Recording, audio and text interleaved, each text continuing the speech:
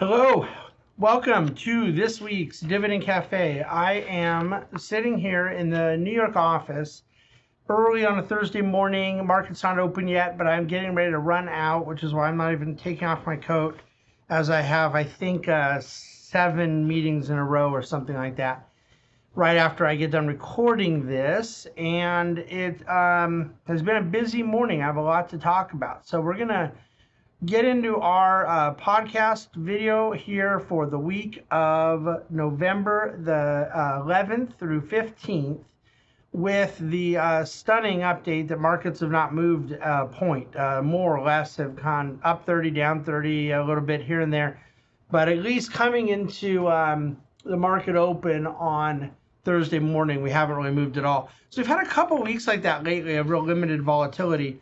And, and uh, I suppose that's a good thing for a lot of people relative to stuff that we've been used to. But um, the the truth is, it's not really all that surprising. There um, have been three primary drivers of markets uh, this year. Three things that I think are are are two being macro and one being very very fundamental that um, have been most relevant, and all of them are in sort of a quiet period, if you will. And the first, of course, is the trade war and uh, right now, we appear to be headed to a phase one deal. We think that will be done sometime before December 15th, even on December 15th.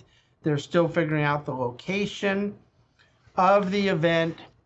Um, and so the markets have spent the last four weeks, six weeks pricing in the expectation that the tariffs are not accelerating, that the announcement of some additional tariffs is is off and that there's some degree of pause if if not total improvement if not actually um, you know the potential for even moving backwards from where the tariff levels were uh, uh, previously. So the markets have priced in a lot of this phase one good news and now we're kind of in a wait and see. There's not a lot going on there. And and i'm just going to kind of get this part out of the way going into 2020, our expectation is much of the same that phase one has about a 10% chance of going backwards, meaning getting worse, not happening, blowing up, some kind of real bad event. Has about 10% chance of getting much better than markets have expected.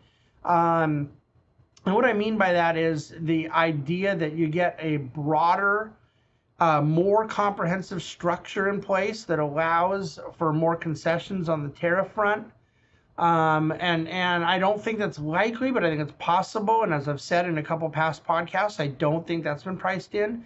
So if you take the low probability of um, really really positive accelerant in the trade war news and a low probability of really negative, that leaves you 70 to 80 percent likelihood that we're going to probably be on pause all the way until the election. That there won't be necessarily a real needle moving development on the trade front.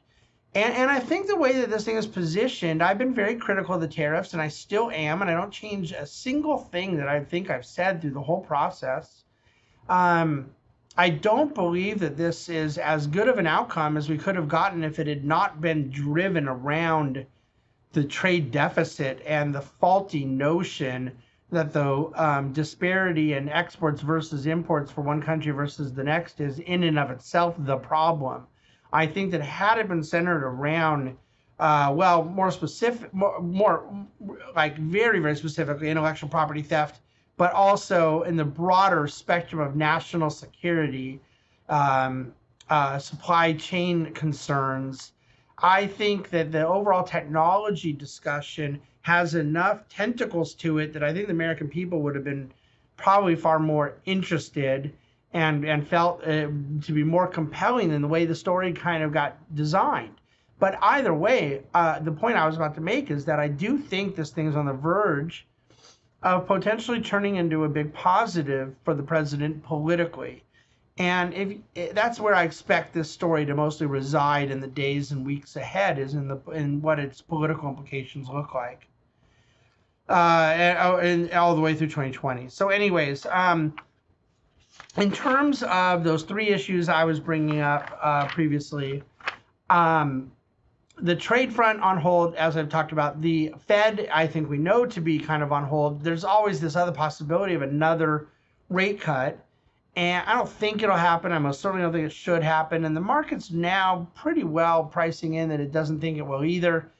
But you got three rate cuts from the Fed in the last several months.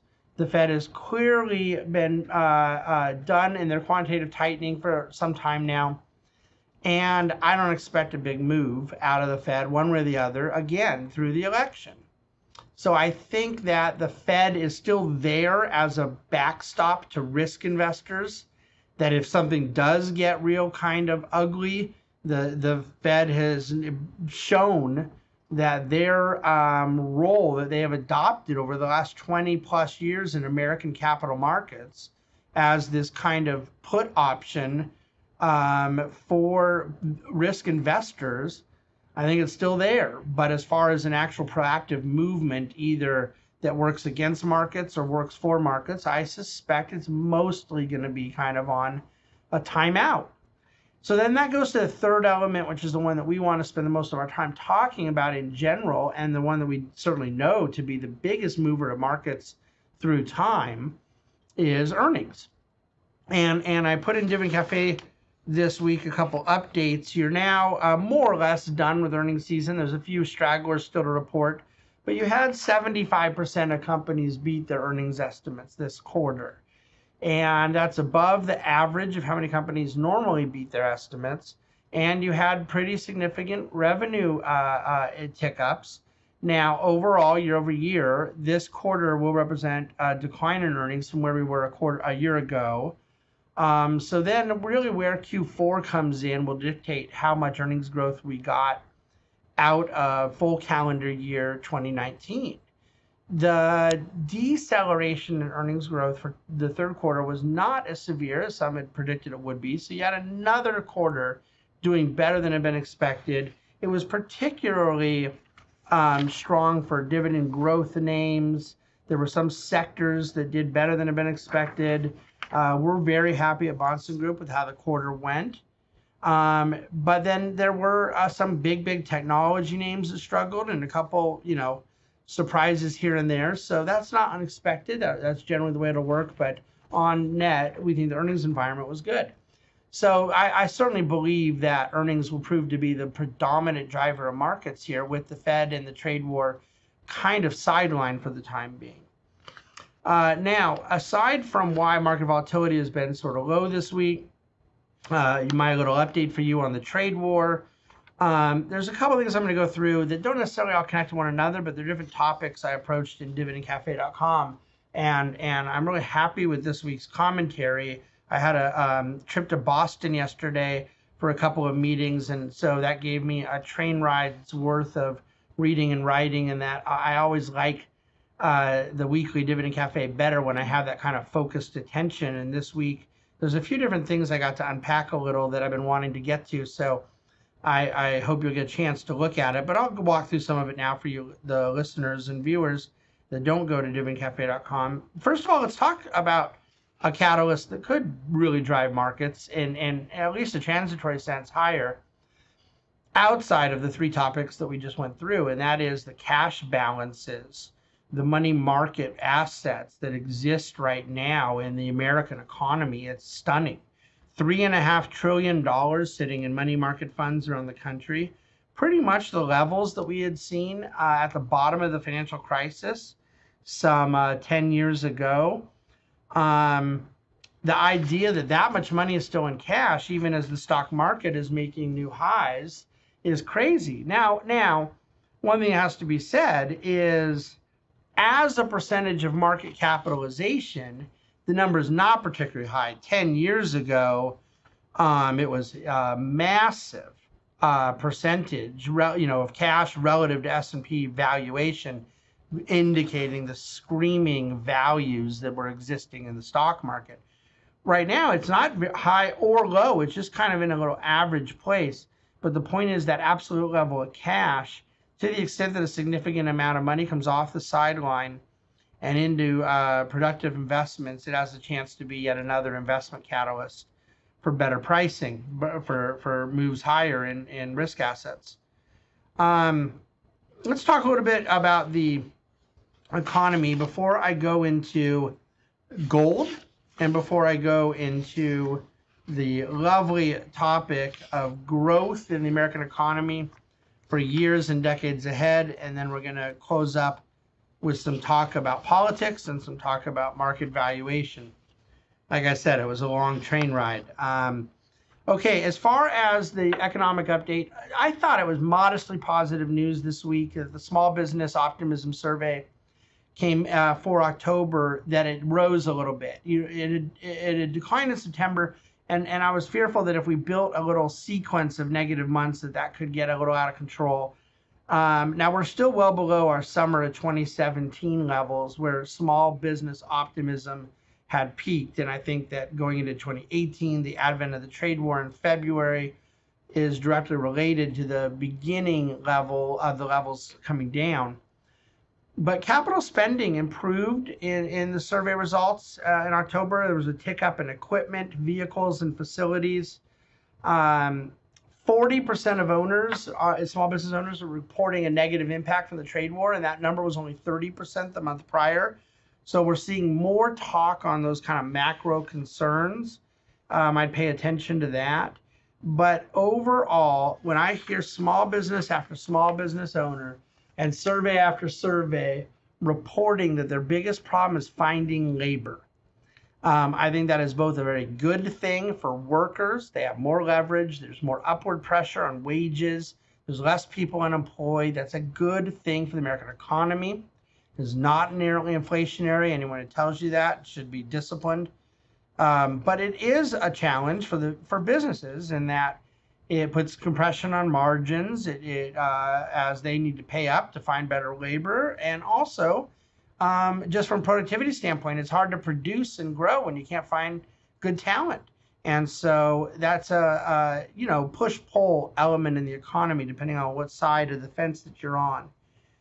Um, I said I wanted to jump into gold real quick, and I don't have anything to say that is any different than things I've really been saying for a significant amount of my uh, career. Um, but I did put a chart in dividendcafe.com this week because uh, I want people to be reminded of how painfully untrue it is that gold should be bought as an inflation hedge. I do make the argument that there are points in history in which gold has been an effective hyperinflation hedge.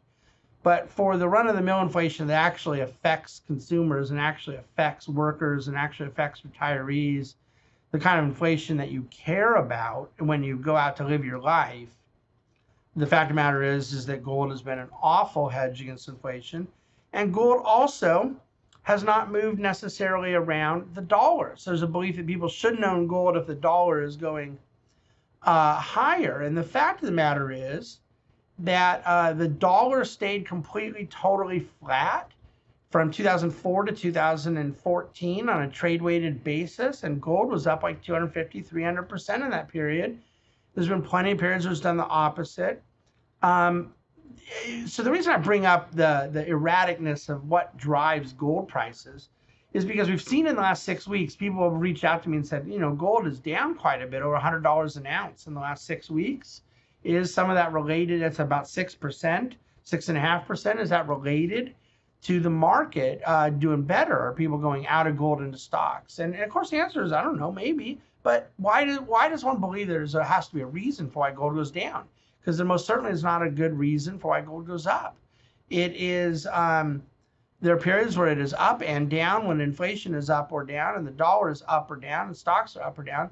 It, it is not something that people can forecast. And the reason that they want to look for a reason is that it's difficult to come to terms with the fact that gold goes up or down for reasons that are totally unknown. It doesn't have an intrinsic value doesn't have an internal that you can that you can measure. Doesn't have an internal rate of return is a better way to put it.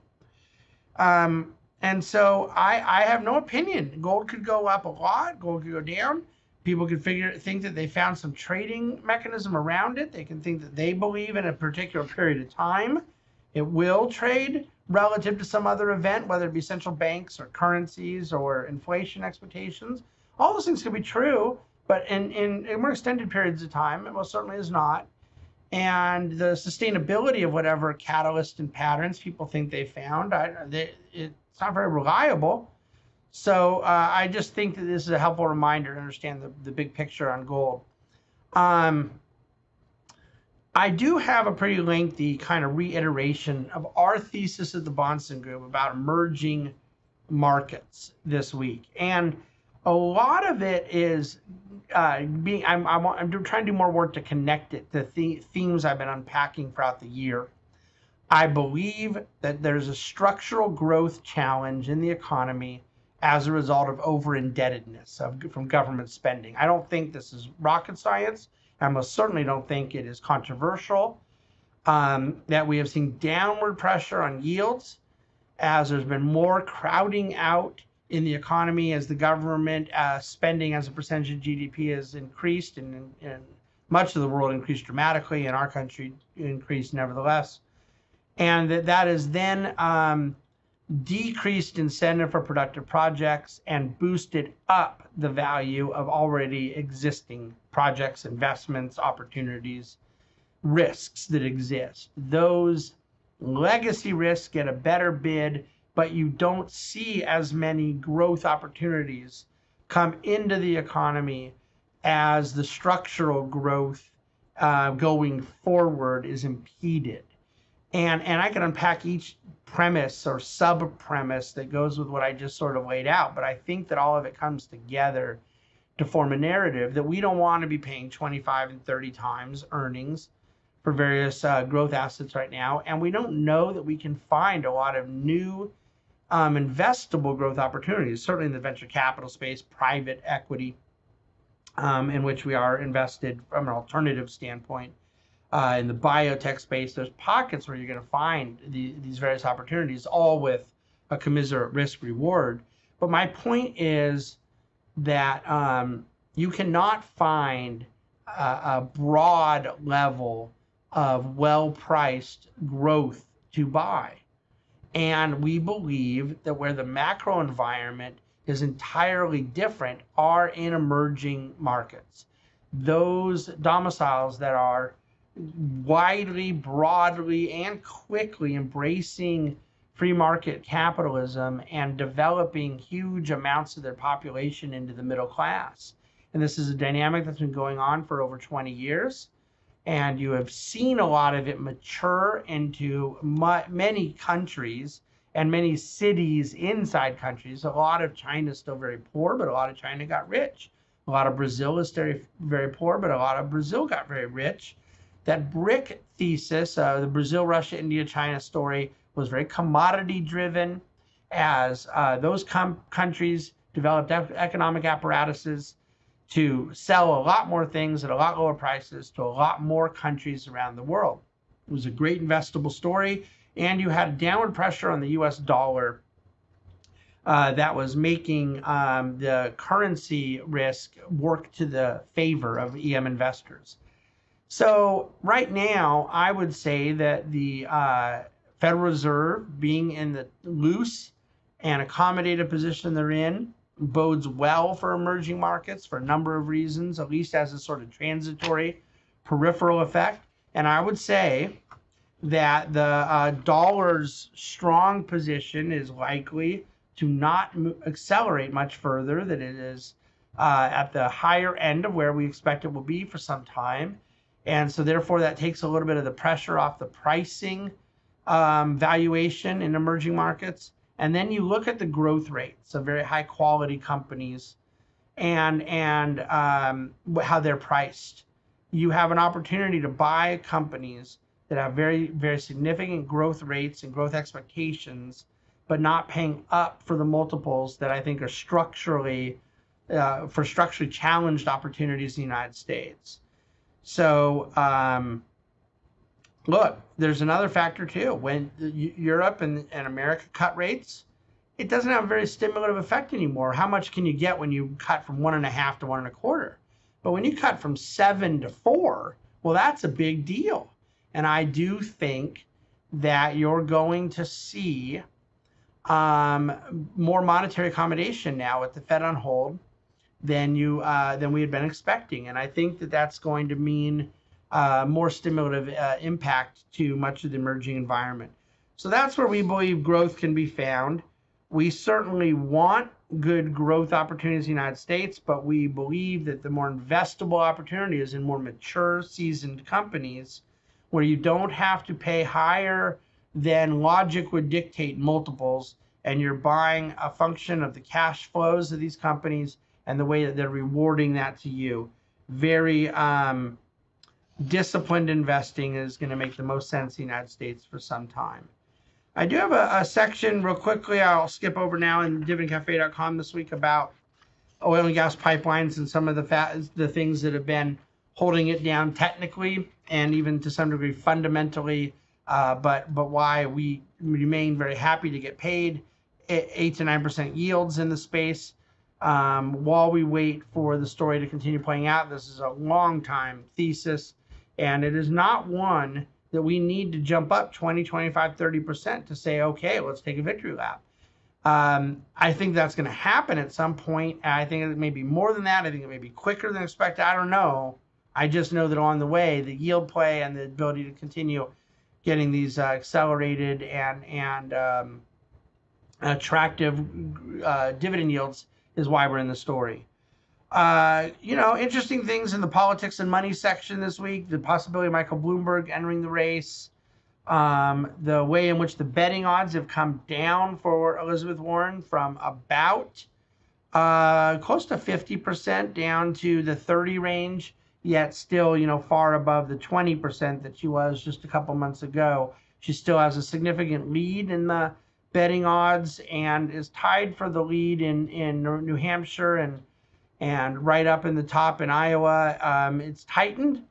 Anything goes, but again, our view is that there are four hurdles still before someone has to say, oh, look at these awful things that could happen to the economy.